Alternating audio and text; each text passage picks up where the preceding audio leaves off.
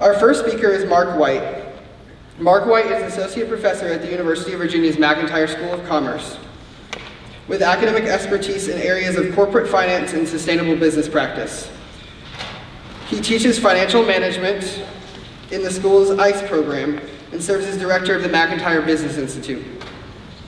He is very active in the university sustainability community and has developed and taught many courses addressing businesses' relationships with the natural environment. Professor White is engaged in a, a, number of collaborative research projects related to business and sustainability. A former Fulbright scholar, he speaks fluent German and currently holds a visiting professorship in environmental economy or economics at the, and I guarantee I'll again pronounce this incorrectly, Technische Universität Dresden. At UVA, he has served as academic dean for the Semester at Sea program, president of the Colonnade Club, and a faculty senator. He published work, his published works include numerous articles, books, and book chapters related to finance and sustainability. Professor White, please join.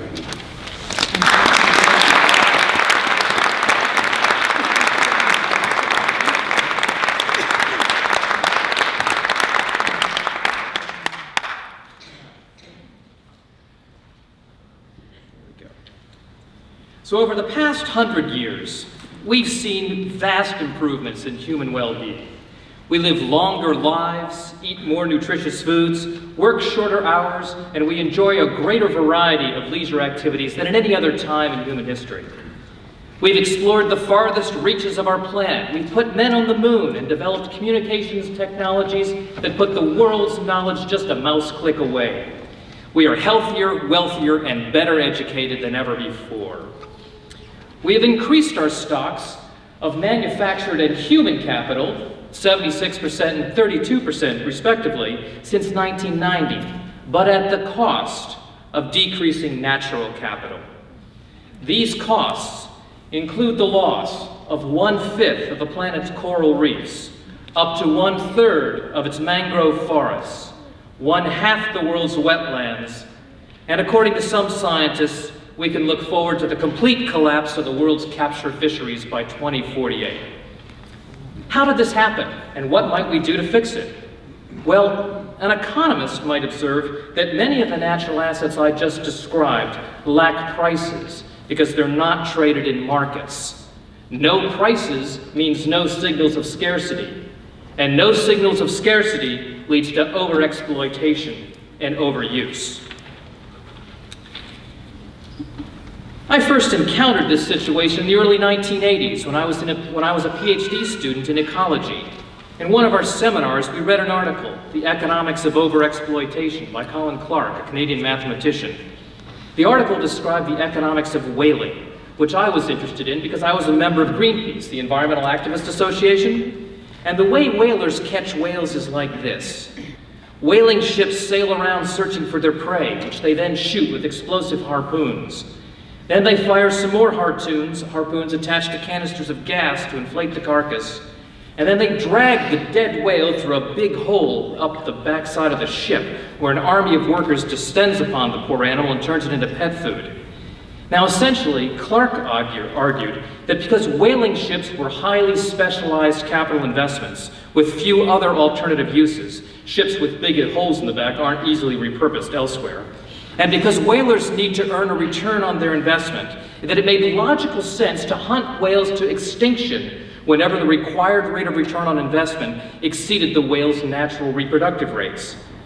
This logical conclusion bothered me enough that I thought I should take some classes in the business school to try and understand what was going on. So I did, and long story short, after a semester I dropped out of the ecology program and enrolled at the business school.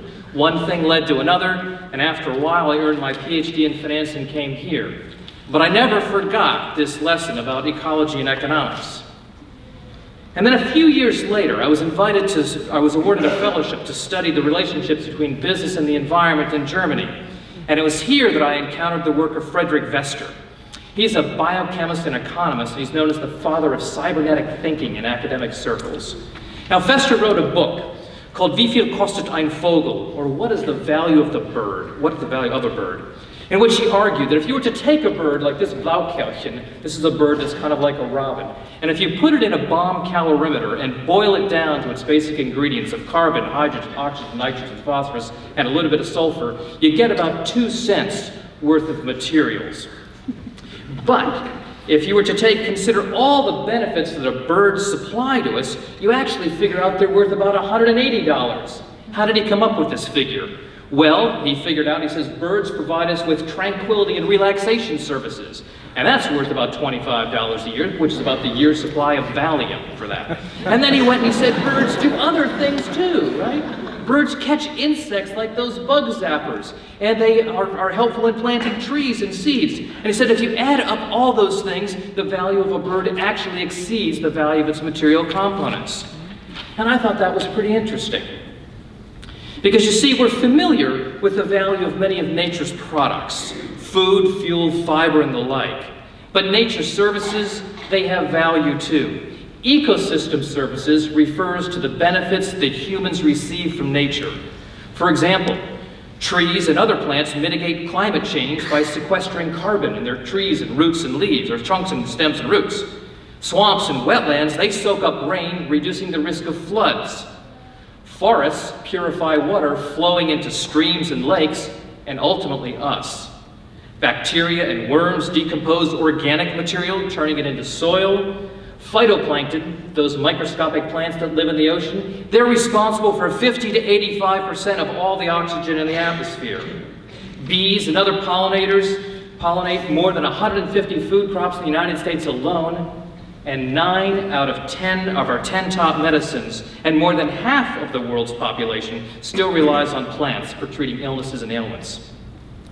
Taken all together, these services add up to one pretty penny. In 1997, Bob Costanza, an economist, and his colleagues estimated, or they published a paper estimating that the total value of all the services provided by nature came out to around $33 trillion a year. To put that in comparison, world GDP that year was only 18 trillion, so we're talking almost twice as much. Now again, as a finance guy, I found all of this stuff pretty fascinating, and I became interested in putting a price on the planet and learning ways to value environmental assets. There's a number of techniques one can use, ranging from the benefits transfer approach used by Costanza and Vester, but there's some others, like the contingent valuation uh, method, which you can use to measure non-use values. I actually employed this method in a paper I wrote a few years ago estimating the value of Virginia's endangered species. I found that respondents said they would be willing to pay, on average, $500 to preserve the Commonwealth's population of bald eagles, which was an endangered species at the time. But they were only willing to pay $10 to save the northern flying squirrel, and the snuffbox mussel, that only rated a dollar. now, these findings are actually consistent with what we see with human behavior in these revealed preference methods. Humans are biased in favor of what we call charismatic megafauna. You know, pandas and tigers and lions and like. Mollusks, they really don't make the cut, generally. So determining environmental values, determining economic values for environmental assets facilitates decision making and the evaluation of trade-offs among competing wants and needs. It's also the first step in creating compensation schemes encouraging the provision of ecosystem services. Now this practice has actually had some very notable successes, such as the New York City and Catskills watershed, an interesting story. So the Catskills watershed has supplied New York City with high quality water for many, many years. But in the 1990s, the US EPA found that the water coming into the city was of such poor quality that they were going to need to build a new plant, a new filtration plant, at a cost of six to eight billion dollars. This decline in quality had come due to the development of the watershed, development from runoff and sewage and intensified agriculture, fertilizer, what have you. They estimated the costs of restoring the watershed at one to one and a half billion dollars, much less than the cost of that new plant. So in 1997, the city floated a bond issue and used its proceeds to protect the watershed by buying land, purchasing conservation easements, and paying farmers to not use pesticides and herbicides and to not graze their cattle near the streams. It's been 15 years now and the decision seems to have been a good one. The watershed's value has been internalized and all parties seem to be happy with that new arrangement. Costa Rica may well be the poster child for countries that take natural capital seriously. After many years of resource exploitation, the government implemented a payment for ecosystem services system such that they pay compensation to landowners who keep their land in forests or plant additional trees. And since 1997, nearly 1 million hectares of forest has been restored, and forest cover has increased to more than 50%, up from just over 20% in the 1980s. Interesting thing the Ticos have learned along the way include to use simple indicators and to bundle these services together for maximum value and to reduce monitoring costs, to target specific groups, such as the small landholders, and to tune payment levels to the local cost to avoid open payments. This is a big challenge, getting the prices right when you're trying to value environmental assets. And as neat as the Catskills and the Costa Rican experiences have been, they're still essentially negotiated agreements between small numbers of buyers and sellers.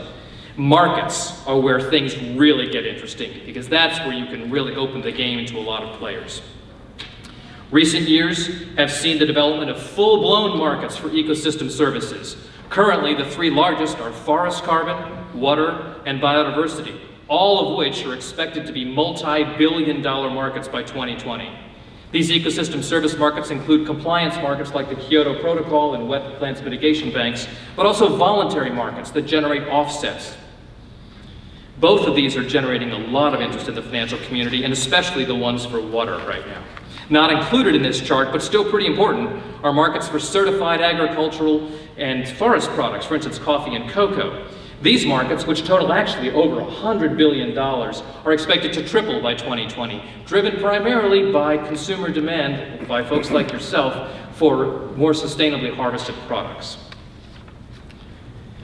In the private sector, firms are waking up to the challenges we're facing to the with, facing with respect to declining natural capital, and they're using environmental valuation techniques to identify strategic risks and to stimulate innovation in their own supply chains. Coca-Cola, for example, has partnered with the World Wildlife Fund to examine risks associated with water supplies. Water is Coke's largest ingredient. Darden Restaurants, which owns Red Lobster and Olive Garden and some other brands, they've committed uh, funds to rebuild troubled fisheries in the Gulf of Mexico because they want to make sure they'll still have shrimp to put on the barbie. One company that's running away with the idea is Puma, the German athletic shoe company.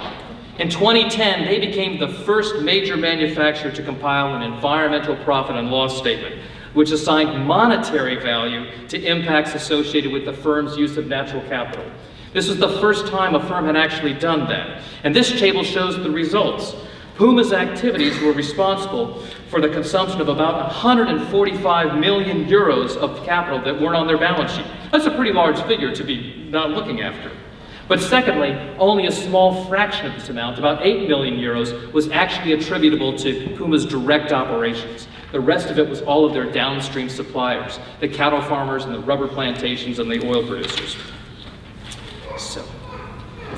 So I've just taken you on a romp through the highways and the byways of environmental asset pricing. We began by noting that as a species, we've had it pretty good. There are an awful lot of us, and we're living larger than we ever have before. But that's not exactly true with respect to Earth's balance sheet. Nature provides us with an amazing array of important services, but these are diminishing in quantity, arguably because we haven't included their benefits and costs in our economic calculus. At the business school, we're rather fond of saying, what gets measured gets managed. So why have we only recently begun to put a price on the planet? Frankly, for most of human history, we didn't need to. We simply hadn't bumped into nature's limits in a big enough way, but that's likely to change. We're expected to have 3 billion more middle-class consumers by 2030. And as we've seen, key components of our natural capital have declined precipitously in recent years. The business and financial communities are incorporating more and more thinking about the risks and opportunities associated with ecosystem services into their strategic plans, and better measurement should lead to better outcomes. As individuals, a greater appreciation for the benefits nature provides to humanity can only be a good thing. As you can probably tell by now, I'm quite fond of our natural world, and I wish future generations the same enjoyment that I've experienced learning and working with Mother Nature. Putting a price on nature services helps us to make comparisons among different types of capital, to engage with corporate managers, arguably one of the most influential groups of decision makers, and it raises awareness about the challenges we face with respect to Earth's natural resources. It's a helpful and important tool for achieving a sustainable future, and we should do more of it. Thanks for listening. I've enjoyed sharing.